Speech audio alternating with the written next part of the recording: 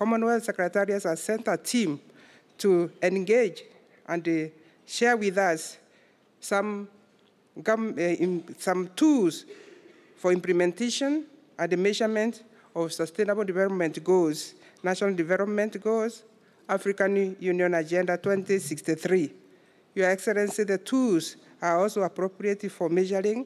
and implementing the Kenya Agenda 4 on manufacturing, food security, universal health care, and affordable housing. Your Excellency, African Public Service Day also had a youth forum which was held yesterday to ensure that youth participation and engagement is at the center of the public service revolution action plan that is going to be rolled out by Sunday,